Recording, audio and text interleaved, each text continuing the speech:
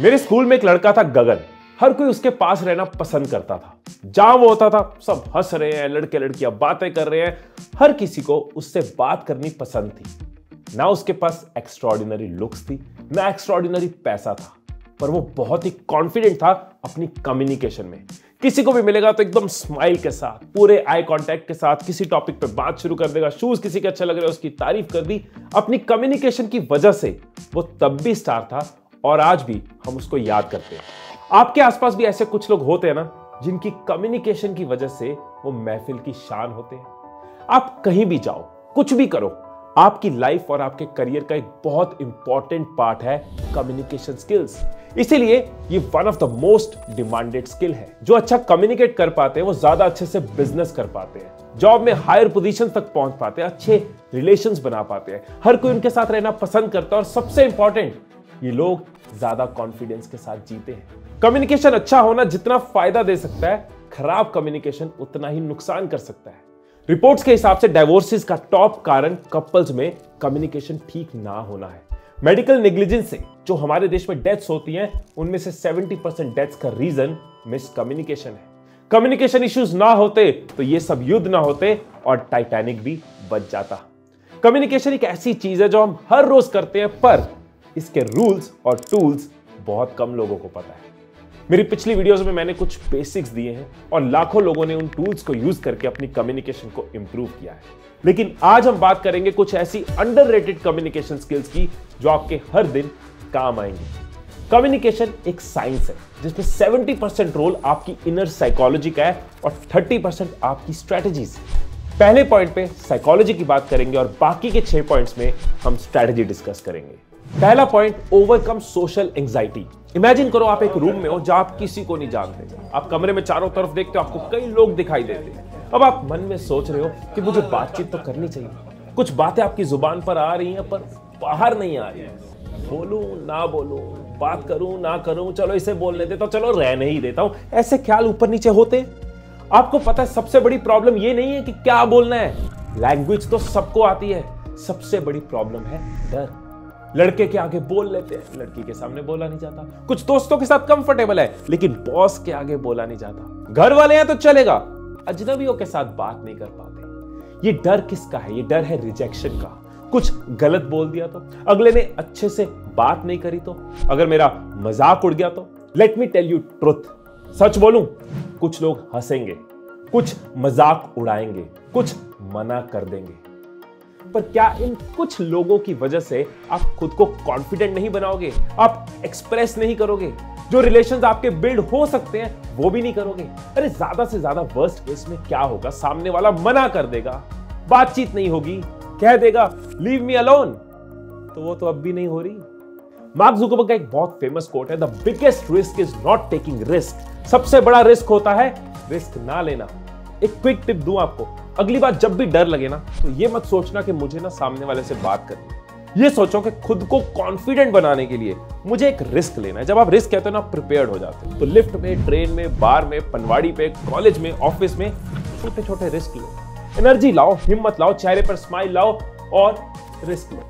ये छोटे छोटे रिस्क आपको बहुत फ़ायदा देंगे। आपकी झिझक और डर को खत्म करेंगे। हर बार आपके कॉन्फिडेंस को बिल्ड करेंगे। सेकेंड पॉइंट है एस एस टी एक बार आपने कन्वर्सेशन की शुरुआत कर दी, अब सामने वाले को एंगेज कैसे करें?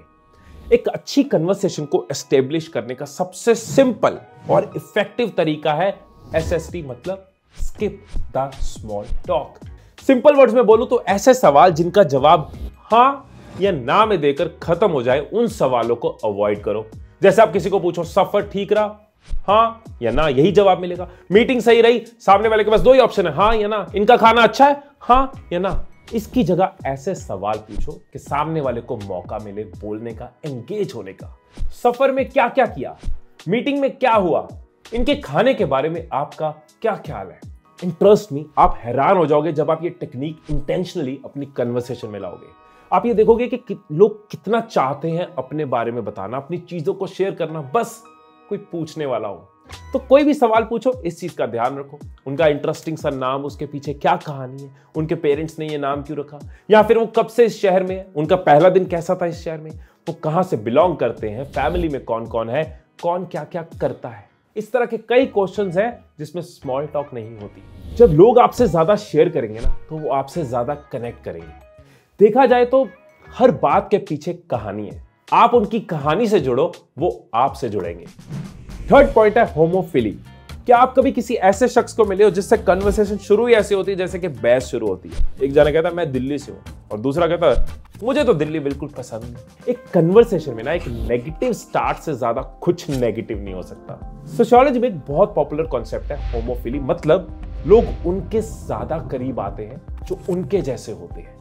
तो अगर आप चाहते हो एक रेपो बिल्ड करना तो इस टेक्निक को आप यूज़ करो। इनफैक्ट ये टेक्निक बहुत आसान है हेल्दी कन्वर्सेशन बिल्ड करने के लिए। जब आप पहली बार किसी को मिलते हो, कोशिश करो उस शख्स में कोई ऐसी चीज़ ढूँढने की जो आप में और उसमें कॉमन हो। मैं अपनी एक पर्सनल एग्जांपल शेयर करता हूँ। एक बार मैं फ़्लाइट में जा रहा था तो मेरे साथ जो बैठे थे, वो बुक पढ़ रहे थे। तो क्योंकि मुझे भी रीडिंग का शौक है तो मैंने उनसे डिस्कशन करी कि इस बुक का क्या सिनॉप्सिस है। उन्होंने मेरे साथ डिस्कस करा रीडिंग की हैबिट डिस्कस हुई, आपने कौन कौन सी बुक पढ़ी है, मैंने कौन कौन सी, और एक दोस्ती हो गई। वो एनटीपीसी के एक टॉप एग्जेक्टिव थे। लेकिन वहाँ से एक ऐसा रिश्ता बना कि उन्होंने मुझे कई जगह रेफर किया। मैंने एनटीपीसी के लिए प्रोग्राम्स किए और कई जगह प्रोग्राम्स किए। तो एक रिलेशन भी बना बिज़नेस भी बिल्ड हुआ और एक कन्वर्सेशन भी हुई। ऐसे आप जब किसी को मिलो तो ढूंढो क्या कॉमन हो सकता है। हो सकता है दोनों को जूतों का शौक हो म्यूज़िक का शौक हो, कोई फोन्स का शौक हो रीडिंग की हैबिट हो हेल्थ कॉन्शियस हो दोनों। जब आप कॉमन पॉइंट से शुरू करते हो ना तो वहाँ से कन्वर्सेशन जब आगे बढ़ती है trust me all of a sudden आप रियलाइज़ करोगे कि वो कन्वर्सेशन कितनी आसान होगी। क्योंकि सडनली आप दोनों एक साइड पर आ जाते हो ना। और ये ये आपको कन्वर्सेशन में पावर देता है, आपको कॉन्फिडेंस देता है। एंड आपको एक फैक्ट बताता हूँ। हम सब ह्यूमंस का डीएनए 99.5 परसेंट सेम होता है। सिर्फ़ 0.5 परसेंट का डिफरेंस हमारे डीएनए में है, जो हमें एक दूसरे से अलग बनाता है। तो जब जेनेटिकली हम सब एक जैसे हैं तो कुछ ना कुछ तो आपको दूसरे में ज़रूर मिलेगा, जो आपके साथ मैच करेगा। अब आगे हम अपनी फोर्थ अंडररेटेड कम्युनिकेशन स्किल पे, वो है vitamin A famous American memoirist और पोएट माया एंजेलो का एक वर्ल्ड फ़ेमस कोट है कि people will forget what you do they will forget what you say but they will never forget how you made them feel कोई भूल सकता है कि आपने उनके साथ क्या किया? वो शायद भूल सकते हैं कि आपने उन्हें क्या कहा, पर वो ये कभी नहीं भूल सकते कि आपने उन्हें कैसा एहसास कराया। आपको पता है कि हम सबका ना एक कॉम्प्लीमेंट इम्यूनिटी मीटर होता है। मतलब एक ऐसा कॉम्प्लीमेंट जो आपको लाइफ में कई बार, कई लोगों से मिला है, एक टाइम के बाद वो आपको हिट मारना बंद कर देता है। आपको उसकी आदत हो जाती है। एक टाइम के बाद आपके लिए वो बहुत आम हो जाता है। फॉर एग्ज़ाम्पल कोई लड़की जो बहुत सुंदर है, उसको आदत हो चुकी है, हर कोई उसकी तारीफ़ कैसे करेगा? तुम बहुत सुंदर, तुम बहुत सुंदर हो। तो उसके लिए वो कॉम्प्लीमेंट इतना वर्दी नहीं रहता। तो ऐसे केस में अगर उसको ये कॉम्प्लीमेंट मिले कि तू हमेशा टाइम पे होती है तो बहुत पंक्चुअल है this is a worth appreciating या फिर तेरा प्रोजेक्ट रिपोर्ट बहुत अच्छा था तो उसको थोड़ा डिफरेंट लगेगा। So what I am trying to say is कि जो कॉम्प्लीमेंट बहुत कॉमन है, आम है, लोग उसको सीरियसली नहीं लेते। देखो कॉम्प्लीमेंट हर किसी को अच्छे लगते हैं, अपने बारे में अच्छा सुनना हर किसी को पसंद है, लेकिन यही कॉम्प्लीमेंट जब थोड़े डिफरेंट तरीके से दिए जाए तो वो और स्पेशल और मेमोरेबल हो जाते हैं। और एक फैक्ट बताता हूँ फोर्टी परसेंट लड़कियाँ मिनिमम दिन में एक बार ज़रूर किसी चीज़ की तारीफ़ करती है, लेकिन लड़कों में ये नंबर 22 परसेंट है। तो हमें इस पे ज़्यादा काम करना होगा। सो फोर्थ पॉइंट में कॉम्प्लीमेंट इम्यूनिटी मीटर याद रखना और वाइटामिन ए यानी वाइटामिन अप्रिसिएशन देते भी रहो और लेते भी रहो। फिफ्थ टिप है ओपिनियन पार्लियामेंट कब अच्छा लगता है? पार्लियामेंट तब अच्छा लगता है जब वहाँ बातचीत हो रही हो, ना कि जब मारपीट हो रही हो। इस दुनिया में ना हर किसी का एक अपना ओपिनियन एंड ट्रस्ट मी हम सब क्या चाहते हैं? हम चाहते हैं कि उन ओपिनियंस को कोई सुने, उन ओपिनियंस को रिस्पेक्ट करे। हम अपनी ओपिनियंस को वैलिडेट कराना चाहते हैं। और यही है मेरी अगली टेक्निक कि कन्वर्सेशन को ग्रेट बनाने के लिए आस्क ओपिनियन एक्चुअल में रियल कन्वर्सेशन की शुरुआत ही तभी होती है जब सामने वाला ओपिनियन देता है ना तो वो ज़्यादा एंगेज होता है, वो बहुत कुछ कहना चाहता है। और जब आप इस टेक्निक को अप्लाई करोगे, आप हैरान रह जाओगे कि कितना कुछ है सामने वाले के बारे में जो आप जान सकते हो। शुरू में सिर्फ़ जनरल बातों पे ओपिनियन लो धीरे धीरे आपको प्रैक्टिस हो जाएगी। शुरू में सिर्फ़ ये पूछ सकते हो कि आपको कॉफ़ी क्यों ज़्यादा पसंद है? लास्ट मूवी आपने कौन सी देखी और वो आपको कैसी लगी? और जब आपको सामने वाले से जवाब आए, उनका ओपिनियन आए, तब बात को आगे बढ़ाने के लिए आपको सिर्फ़ एक चीज़ करनी है और वो बहुत इंपॉर्टेंट है, सुनो सुनो लिसन इसलिए नहीं, कि उन्हें रिप्लाई देना है, सुनने के लिए सुनो। और इसी से जुड़ी है मेरी नेक्स्ट कम्युनिकेशन टेक्निक जो आपकी कन्वर्सेशन को ग्रेट बनाएगी। सिक्स पॉइंट वो है be present I am sure आपने भी कभी ना कभी एक्सपीरियंस किया होगा, मैंने भी किया है, कि हम पूरी तरह से डेडिकेटेडली दिल से दूसरे को अपनी बात बता रहे हैं, और दूसरे वा, जो सामने वाला है, वो हाँ ठीक है साथ साथ फ़ोन चला रहा है मल्टीटास्किंग कर रहा है, जब तक वाईफाई ऑन है, उसका ध्यान हमारे पास पूरी तरह से नहीं है।